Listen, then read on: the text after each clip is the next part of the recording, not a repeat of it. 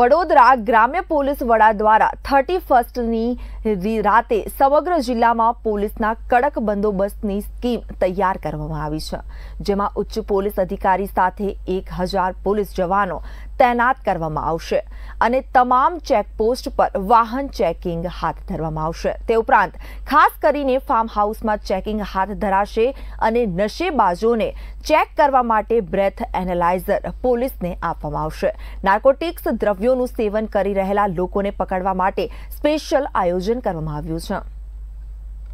છે થશે તો ડેફિનેટલી એક વખત કોરોના ગાઈડલાઇન્સનો ભંગ થશે તો આ મુજબ કાર્યવાહી થશે અગર ત્યાં કોઈ આલ્કોહોલિક ડ્રિંક સર્વ કરવામાં આવી રહ્યા છે પ્રોહિબિશન એક્ટ મુજબ કામગીરી થશે. અને આ સિવાય પણ અગર ત્યાં માનો કે મોટી સંખ્યામાં લોકો છે અને કોઈ જાતનું કાયદા વ્યવસ્થા ટ્રાફિક કે કે મ્યુઝિક વગાડવા લાગતું કાંઈ પ્રશ્ન ઊભા થશે તો જે તે કાયદા હેઠળ કાર્યવાહી કરવામાં આવશે. દસ વાગે સાહેબ મ્યુઝિક સિસ્ટમ આઈડિયલી એ અમે લોકોને અપેક્ષા પણ છે અને અમે લોકોને સૌથી પહેલાં તો પોલાઇટલી રિક્વેસ્ટ કરીશ કે એ લોકો કાયદાનું પાલન કરે અને જો કોઈ કાયદા સાથે ઘર્ષણમાં આવશે તો અમે લોકો પગલાં લઈશું